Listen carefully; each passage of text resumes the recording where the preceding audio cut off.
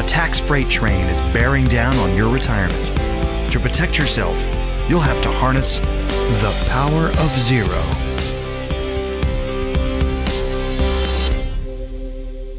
Good day and welcome to the Power of Zero show. This is uh, David McKnight, author of The Power of Zero. I'm glad you're with us uh, today. We're going to talk about the fiscal condition of our country. And I'm going to tell you why I think that's incredibly relevant for those of you who are looking to have a tax efficient uh, retirement and to uh, sort of insulate yourself against what I believe is coming down the road in the form of massive higher taxes. I'll tell you something. I do uh, workshops and presentations all across the country, and I routinely ask rooms full of people. How many of you guys think that tax rates in the future, even in the next 10 years, are likely to be dramatically higher than they are today. And you want to know something interesting? Nearly every hand in the room goes up. And then when I ask a, a very telling follow up question, which is this, uh, how many of you have the lion's share of your assets invested in 401ks and IRAs? How many of you, how many of those hands do you think actually go up? Well, it's just about every single one of them. And so one of the reasons I wrote the book, The Power Zero, is because I've noticed there's this massive disconnect between what people think about the future uh, of tax rates and how they're actually uh, saving for retirement, allocating their retirement dollars. Because you see, if you believe that tax rates in the future are going to be even 1% higher than they are today, then you should pound as much money as you can into tax deferred vehicles like uh, Roth IRAs, uh, Roth 401ks, Roth conversions, uh, some forms of permanent life insurance. Uh, we call that in the book the LIRP, Life Insurance Retirement Plan.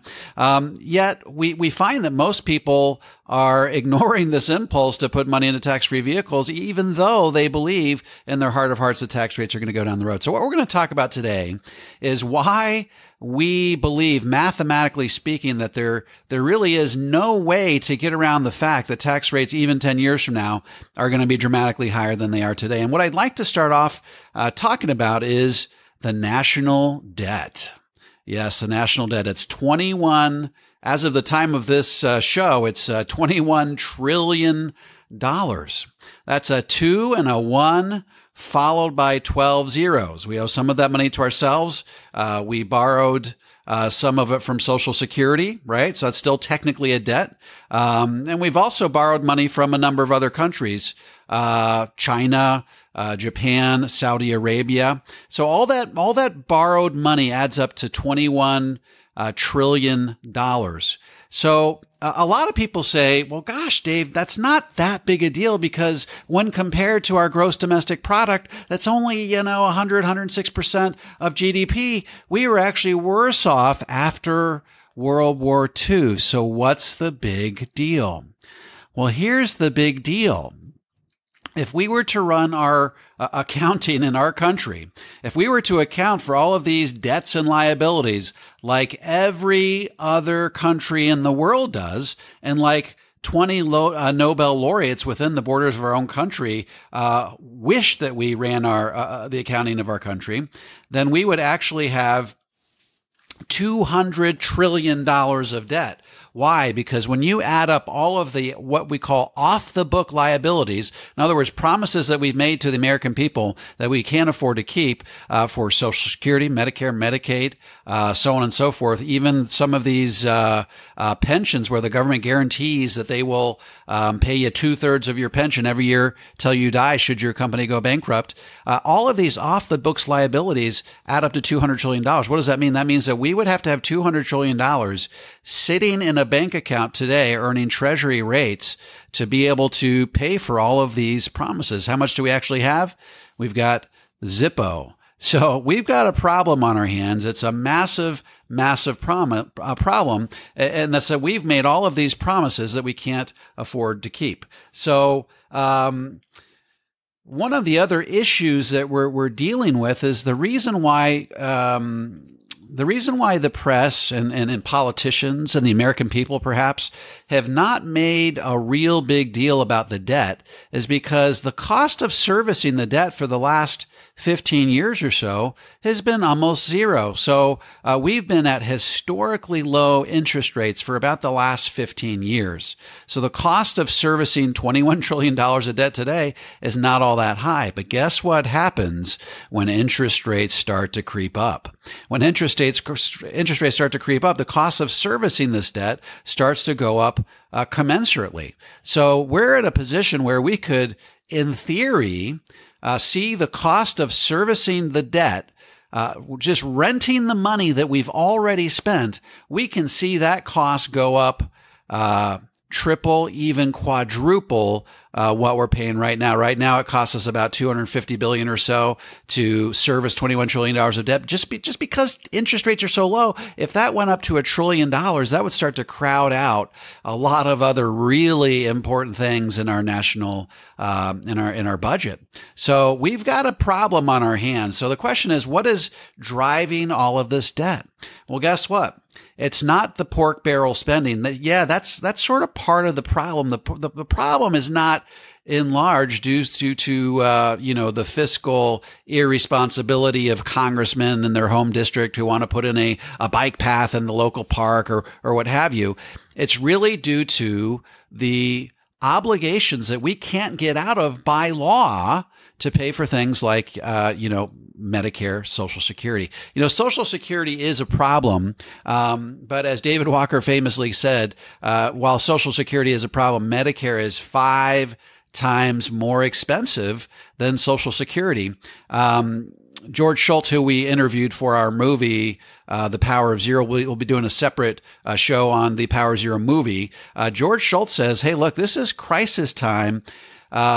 The the real problem in our budget, the real gusher is Medicare. And Medicare, if it goes unmodified, will get so big as these baby boomers move out of the workforce and onto the retirement programs and start to collect on Medicare, uh, Social Security in, in, small part, but really Medicare, then the, the cost of Medicare is going to crowd literally everything else out of the budget. So we've got some major, major problems here.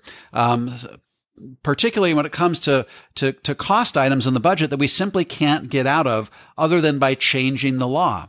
So here's part of the problem. When politicians, for example, from my former home state, uh, uh, Wisconsin, Paul Ryan, when he talked about modifying Social Security and Medicare, then the opposition party would film commercials that uh, depicted him pushing an old lady in a wheelchair off the cliff. And so there's not a lot of um, upside for politicians to try to uh, change the existing law so as to modify uh, what we're paying for Social Security and Medicare. So these expenses are going to continue to grow as we move forward in time. The national debt's going to increase because we're going to have to continue to borrow money to pay for these things because uh, people don't want to make tough decisions uh, when it comes to either raising taxes or cutting spending. Now, you know, one of the options that that that, that we could bring to bear when it comes to solving this problem is we could simply uh, borrow more money. Well, here's the problem that Tom McClintock talked about in our movie, The Power Zero, The Tax Train is Coming. He says, look, if we um, get to the point where we have a sovereign debt crisis.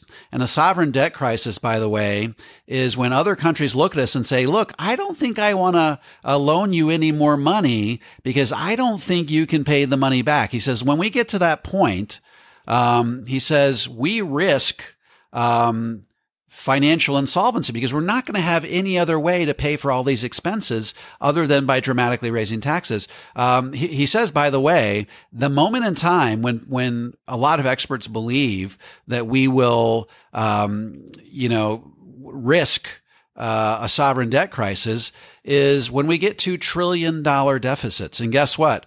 Uh, we weren't going to hit trillion dollar deficits for another two or three years, but then with the Trump tax cuts, um, that added a lot of debt. Uh, sort of increase the deficit because we weren't bringing in as much revenue as we were before, and uh, so the cost of of those tax cuts is not really paid for. So we're in a situation where we could be seeing trillion dollar deficits by the end of fiscal year 2018. So guess what? The the risk of a sovereign debt crisis is already upon us. We're already to the point where other countries may decide that they want to stop loaning us money. And if they stop loaning us money, then we can no longer bar our way out of the problem. And so that brings up another option. Um, this is something that Alan Auerbach, uh, he's a PhD out of Berkeley, addressed in our movie. A lot of people say, hey, look, the Congress will just print our way out of the problem. Well, what's the problem with printing your way out of the problem? Well, first of all, I like to share the story with my clients, and it goes something like this. You know, I I uh, subscribe to a coin magazine. In the back of the coin magazine,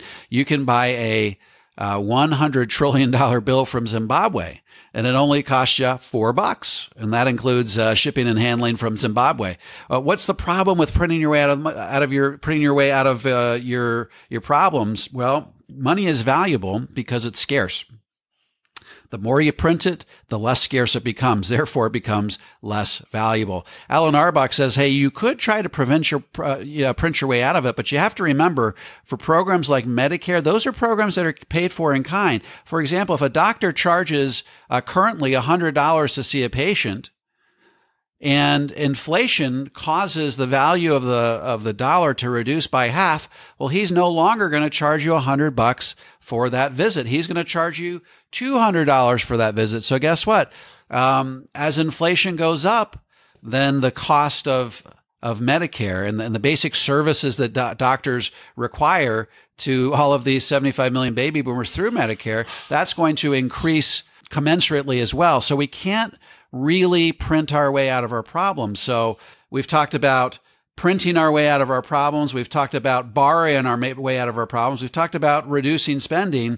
That if you attempt to reduce spending, then politicians that's that's called uh, you know touching the third rail of politics, which basically, if you go to a subway and you look at that third rail, that's the one with all of the electrical current that's running through it. And if you touch that third rail, what do you do? You die of electrocution. Well, they call modifying or somehow changing Social Security Medi- Medicare, reducing those benefits, they call that the third rail of politics because if anybody even brings it up, then the opposition party will use that as fodder in those uh, those those uh, midterm elections, and you'll find yourself voted right out of office. So um, that brings us to a fourth possibility. If tax if things are as bad as all of the experts say, and we're getting to the point where uh, due to inactivity on the part of Congress in terms of resolving this problem, we're going to get to the point where we have to raise taxes.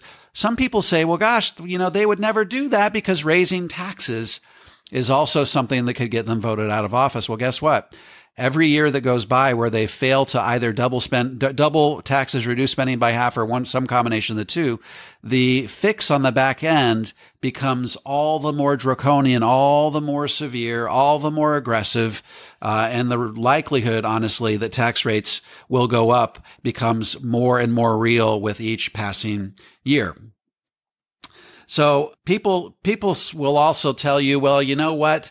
Congress would never rate, raise taxes that high. Well, you have to remember that you don't have to go very far back in the history of our country to find tax rates that were dramatically higher than they are today, even double what they were today. So, for example, we know that uh, in, in the last two years of World War II, uh, Ronald Reagan talked famously about how uh, 94% of any dollar he made above and beyond $200,000 went to the federal government. That remaining 6% went to the state of California for state tax. So it literally did not make sense for Ronald Reagan to work past the month of June. So he would routinely take the rest of the year off, as I talk about in my book, and he would start making uh, movies January 1st the following year.